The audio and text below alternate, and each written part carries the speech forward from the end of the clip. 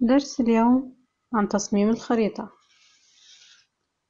في البداية نفتح برنامج ArcMap من مجلد ArcGIS في ابدأ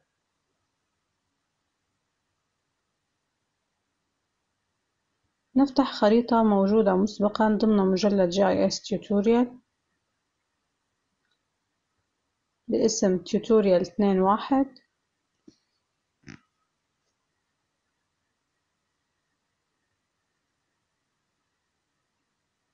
الخريطة فارغة. سنقوم بإضافة طبقات إليها من مجلد GIS Tutorial عبر زر Add Data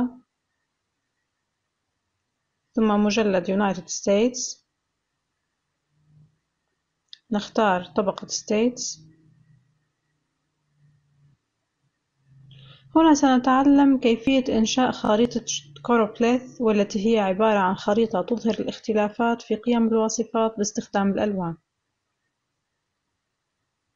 نفتح نافذة خصائص الولايات. نغير الاسم إلى population by states في تبويبة general ثم في تبويبة symbology نختار من quantities في الجهة اليسارية. graduated colors في قسم fields.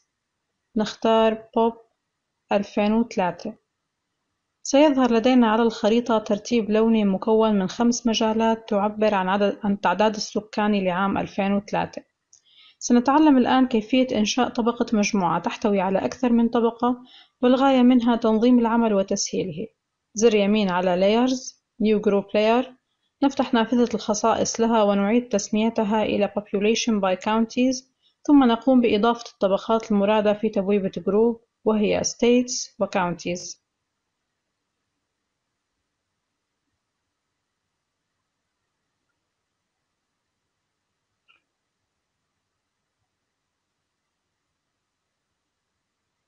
وبالضغط على المستطيل أسفل الطبقة نختار اللون بلا لون وسماكة الحد واحد ونص. واللون أسود.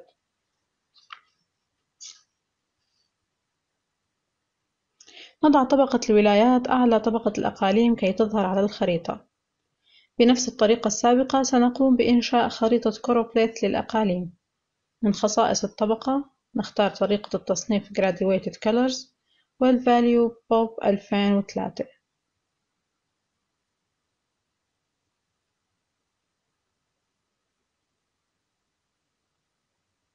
نقوم الآن بإخفاء الطبقات ثم إضافة طبقة مجموعة جديدة باسم Population by Census Tracts والتي هي الأجهزة الإحصائية للولايات. نضيف طبقة States.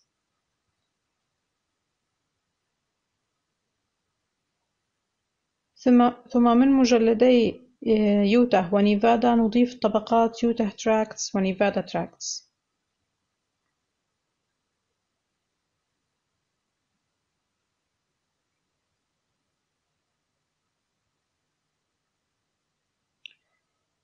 بنفس الطريقة السابقة ننشئ خريطة choropleth لكل من يوتاه tracts ونيفادا tracts حسب بوب 2003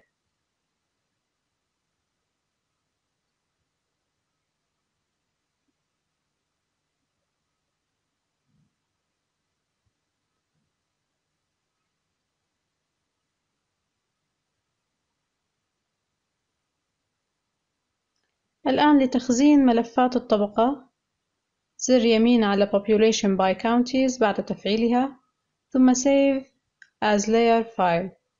نحفظها في مجلد Layer في GIS Tutorial. لإضافتها مجددا ننقر على Add Data ونختارها من مجلد Layer ثم إضافة.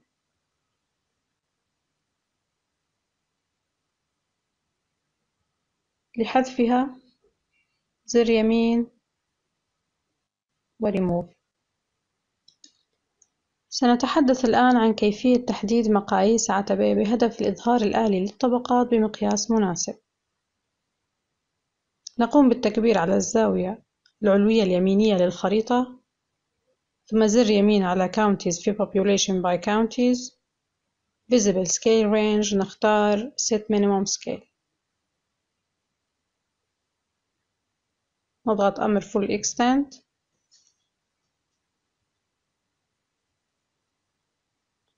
ثم نقوم بالتكبير بشكل تدريجي. وعند الوصول إلى المقياس المحدد سابقًا أو أكبر منه نلاحظ ظهور طبقة Counties. أي هنا كل مقياس أصغر من المقياس المختار لن يظهر الطبقة.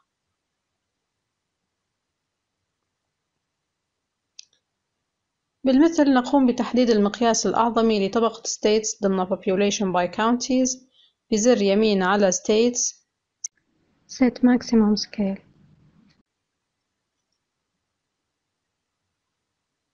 هنا كل مقياس أكبر من المقياس المختار لن يظهر الطبقة.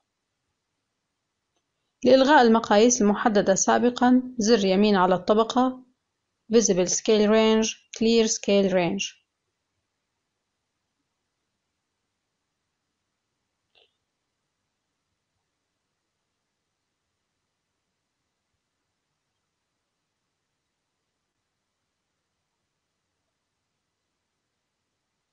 هناك طريقة أخرى لتحديد المقاييس فلتحديد المقياس الأصغر زر يمين على Nevada Tracts Properties ثم من تبويبة General نفعل خيار Don't show layer when zoomed.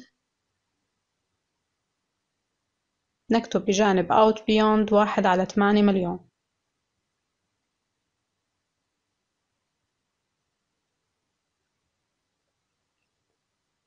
أي ستختفي الطبقة في المقاييس الأصغر من واحد على ثمانية مليون. نلاحظ بالتجريب ذلك.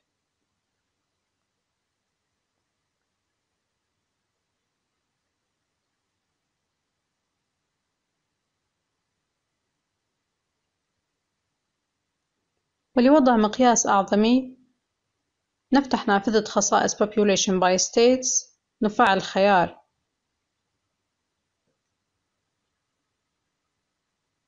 don't show layer when zoomed. ونختار نكتب بجانب in beyond واحد على عشرة مليون. أي ستختفي الطبقة في المقاييس الأكبر من واحد على عشرة مليون.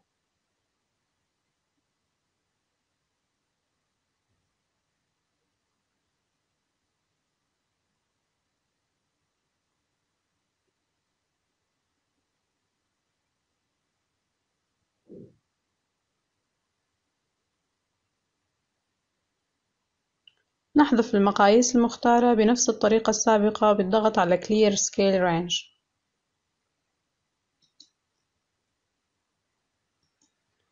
الآن إذا أراد زبون أن ننشئ له خريطة كوروبليث بحسب تفضيلاته من حيث أعداد الصنوف والمجالات المحددة نفتح نافذة خصائص Population by States. نختار في قسم Classification عدد الصنوف ستة. نضغط على Classify نختار طريقة التصنيف Manual ونقوم بتغيير قيم الصنوف يدويًا كما هو مبين في الشكل.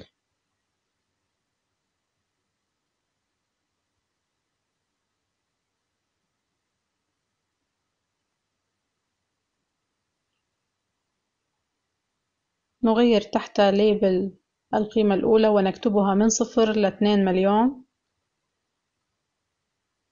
وهو عبارة عن اللافتة التي ستظهر تحت اسم الطبقة في Table of Contents. نضغط OK نتج لدينا خريطة كوروبليث حسب تفضيلات الزبون. نقوم بحفظ ملف الطبقة في مجلد Layers.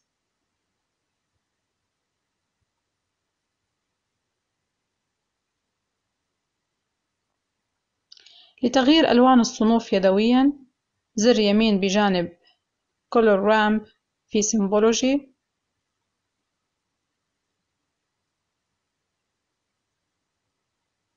نختار Properties. نقوم بتغيير الألوان حسب التفضيل.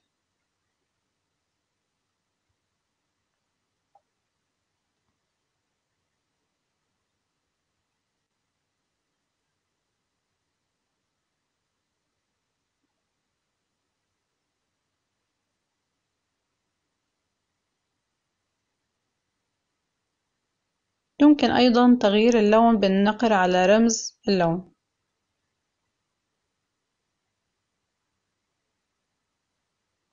النوع الثاني من الخرائط هي خرائط بن والتي تعبر عن معطيات كل سجل باستخدام مؤشرات نقطية. ننشئ طبقة مجموعة جديدة ونسميها Population by City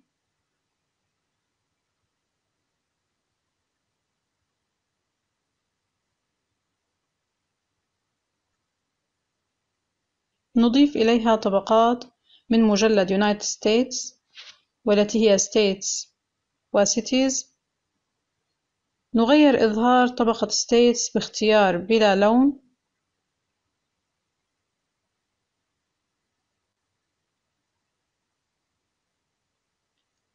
سماكة الحد واحد ونص ولونه أسود. الآن لإنشاء خريطة بن للتعداد السكاني في مدن الولايات المتحدة الأمريكية. نفتح نافذة خصائص طبقة Cities سنختار طريقة Graduated Symbols حسب بوب ألفين.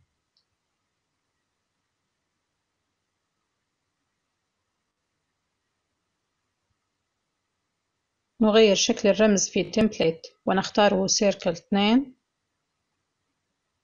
بلون أحمر وقياس ثمنتاش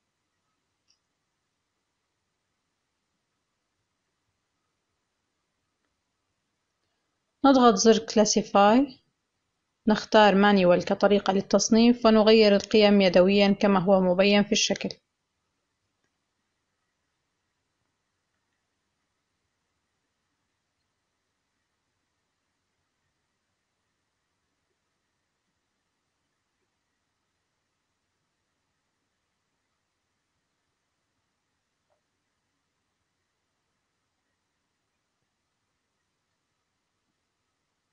نقوم بحفظ الخريطة باسم My Tutorial. اثنين واحد.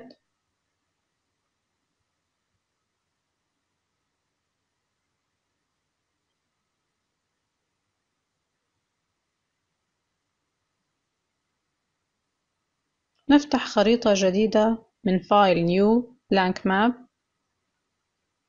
نضيف إليها الطبقات من مجلد بنسلفانيا. وهي PA Counties و PA Cities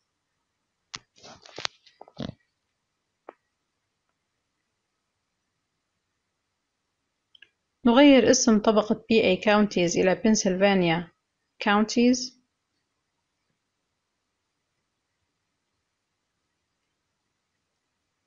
وفي تبويبة Symbology نضغط على Symbol ونختار هولو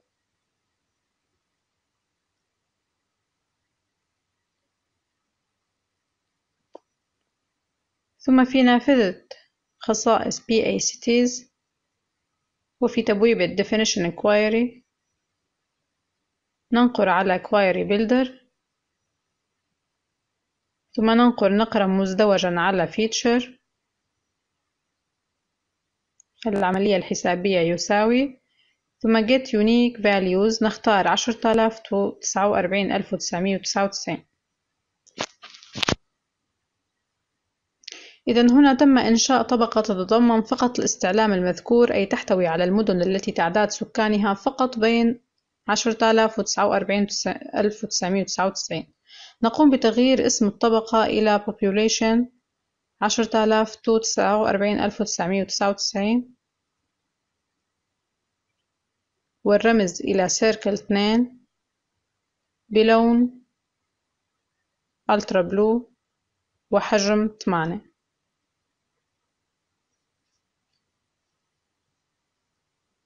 الآن سننشئ استعلام عن عاصمة ولاية بنسلفانيا والتي تدعى هارسبرغ. وذلك بإضافة طبقة PA Cities مرة ثانية ثم إنشاء الاستعلام ضمنها بالصيغة status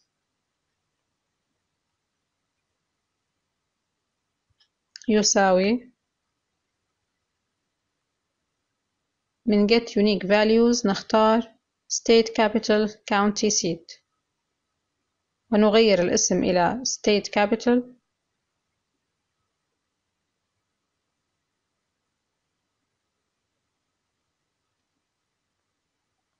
والرمز إلى ستار ثلاثة للون أصفر وحجم خمسة وعشرين.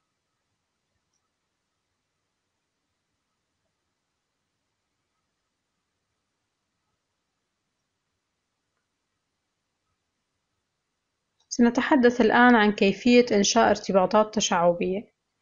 ننقر زر Identify ونضغط على العاصمة بالرمز النجمة فتظهر نافذة بالمعلومات المتعلقة بالعاصمة. زر يمين على هارسبرغ ثم Add Hyperlink. نفعل Link to a URL ندخل موقع www.harrisburg.com ثم نغلق نافذة Identify. ونضغط على أداة Hyperlink والتي تسمح بفتح المواقع المتعلقة بالميزات عند النقر عليها.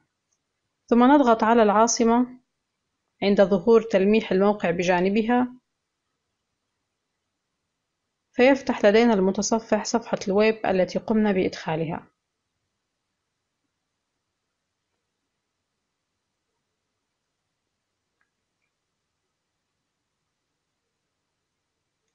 لإنشاء تلميحات للخريطة map tips زر يمين على population عشرة آلاف تسعة وأربعين ألف وتسعمية وتسعة وتسعين تبويبة fields نختار name ثم في تبويبة display نختار show map tips using the display expression. نغلق النافذة ثم نلاحظ أنه عند التمرير فوق المدن. ستظهر أسماؤها بشكل مؤقت وتختفي عند الابتعاد عنها.